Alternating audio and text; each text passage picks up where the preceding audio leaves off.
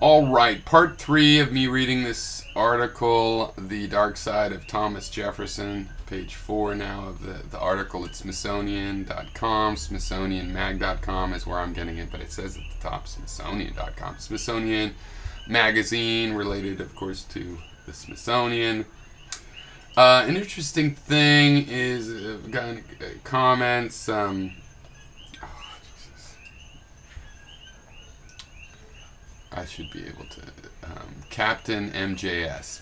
Sorry, I was just thinking Captain JavaScript, and I'm okay.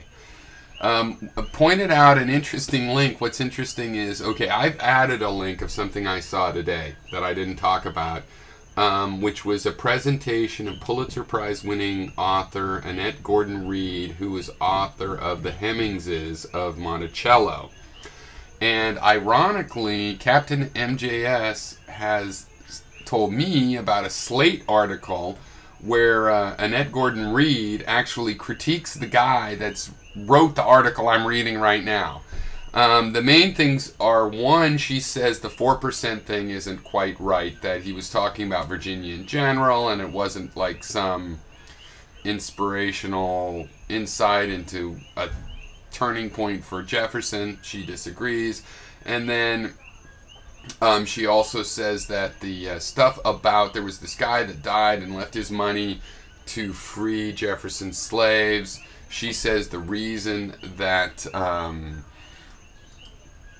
that excuse me, Wiencek, uh, Henry Wiencek is right, who wrote the article I'm reading. Um, gave for why Jefferson didn't take that money and free his slaves and buy them land and equipment like he was supposed to, like he'd agreed with this guy was for other legal reasons.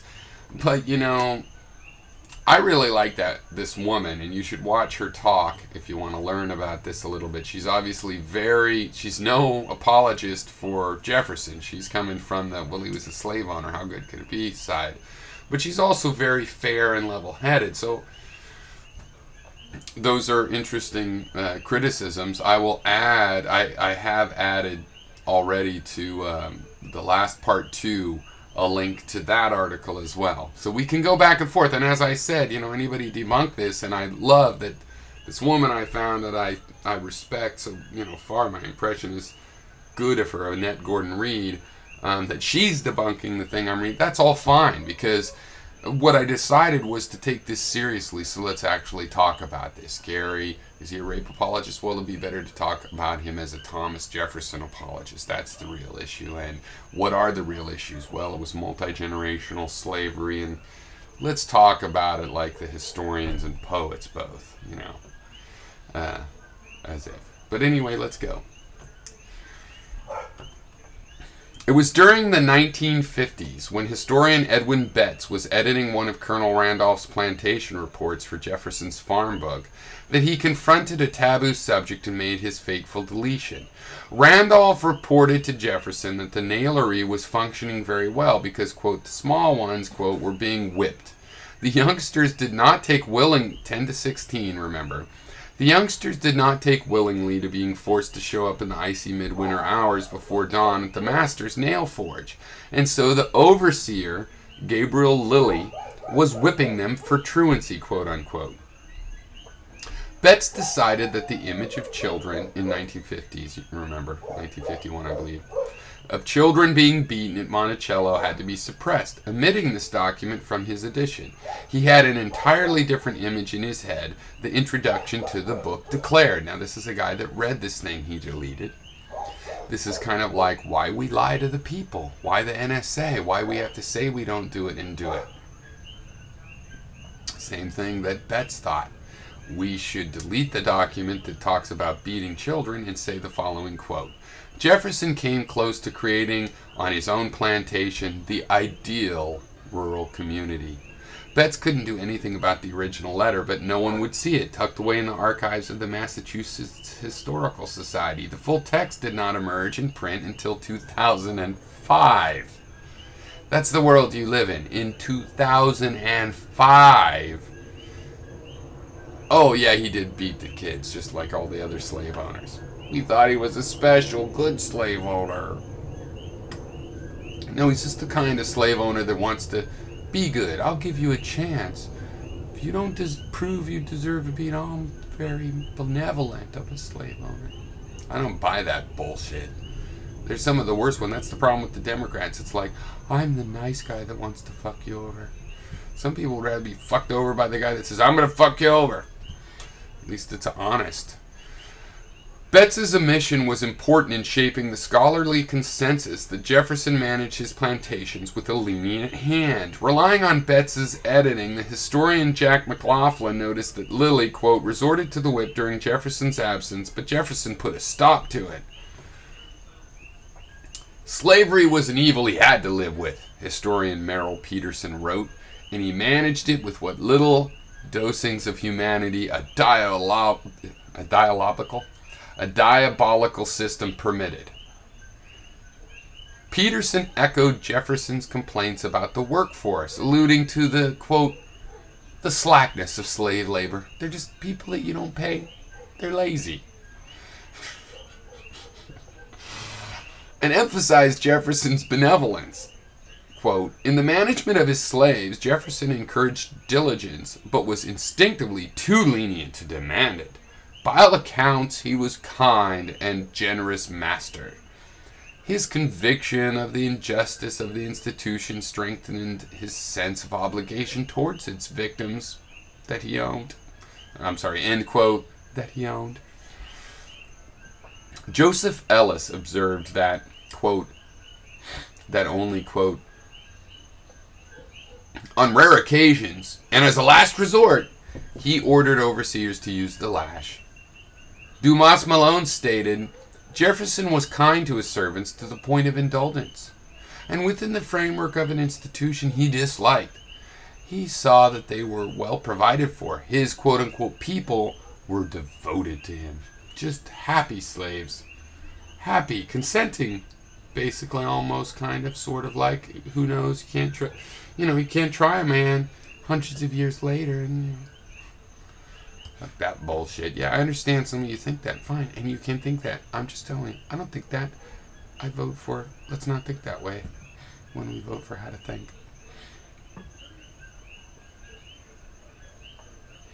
As a rule, the slaves who lived at the mountaintop, including the Hemings family and the Grangers, were treated better than slaves who worked the fields farther down the mountain. But the machine, which is something that, uh, you know, Annette Gordon Reed pointed out in her talk that yeah that was definitely true. The hemings and the grangers for example were treated special and they could see that and that might be why sally hemings would come back from france with this motherfucker. The machine was hard to restrain. However the machine was hard to restrain after the violent tenures of earlier overseers gabriel lilly seemed to portend a gentler reign when he arrived at monticello in 1800 Colonel Randolph's first report was optimistic. Quote, all goes well, he wrote, and what is under Lilly admirably. His second report, about two weeks later, was glowing. Quote, Lilly goes on with great spirit and complete quiet at Monto. He is so good tempered that he can get twice as much done without the smallest discontent as some, with the hardest driving possible. In addition to placing him over the laborers in the ground, quote unquote, at Monticello, Jefferson put Lilly in charge of the nailery for an extra fee of $10 a year. A lot of this stuff is from the records, right? The accounting. So they have little facts like that. 10 pounds a year, sorry. Once Lilly established himself, His good temper evidently evaporated because Jefferson began to worry about what Lilly would do to the nailers, the promising adolescents whom Jefferson managed personally, intending to move them up the plantation ladder. He wrote to Randolph, quote, I forgot to ask the favor of you to speak to Lilly as to the treatment of the nailers. It would destroy their value in my estimation, to degrade them in their own eyes by the whip. This, therefore, must not be resorted to but in extremities. But in extremities. But in extremities. If they don't consent, beat them. If they don't consent, then beat them. Don't beat the ones that you can make consent. Don't beat the ones that you can mindfuck. As they will again be under my government. I would choose they should retain the stimulus of character, end quote. But in the same letter he emphasized that output must be maintained. Output must be maintained. I'm an American but must be maintained. I'm a wealth creator. Quote, I hope Lilly keeps the small nailers engaged so as to supply our customers. End quote. I hope Lilly keeps the small nailers, 10 year olds engaged, engaged. Don't whip them too much, but on the other hand, keep them engaged. You know, what I mean, let's face it, the engagement final point. Colonel Randolph immediately dispatched a reassuring but carefully worded reply. Everything goes well at Monto.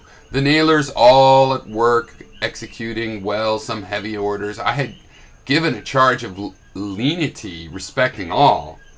Burwell absolutely accepted from the whip altogether. Before you wrote, none have incurred it but for the small ones, for truancy.